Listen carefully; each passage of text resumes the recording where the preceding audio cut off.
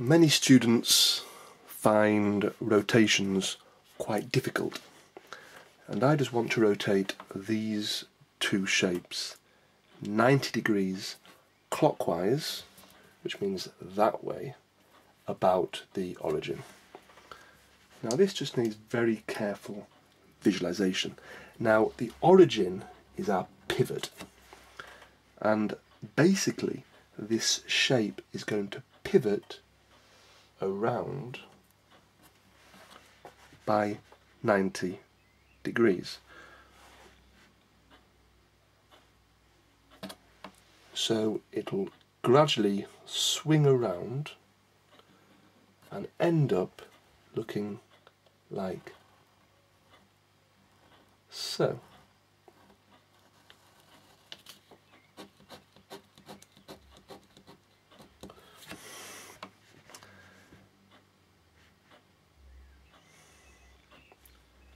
The second shape, however, which I also want to rotate 90 degrees about the origin, is less easy to visualize what's going on because it's not attached to the pivot. Now the way to achieve this is to create an imaginary attachment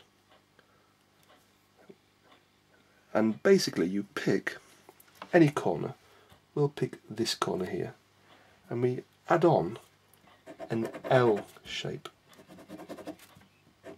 Like so. Like an arm.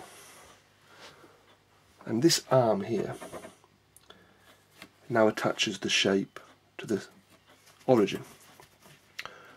We then rotate the arm first by 90 degrees. So that's not too difficult there's my arm rotated by 90 degrees. We then visualize this shape turning 90 degrees around. So we'll go sort of like that, we won't turn around like that. And we then add the shape on to that corner there.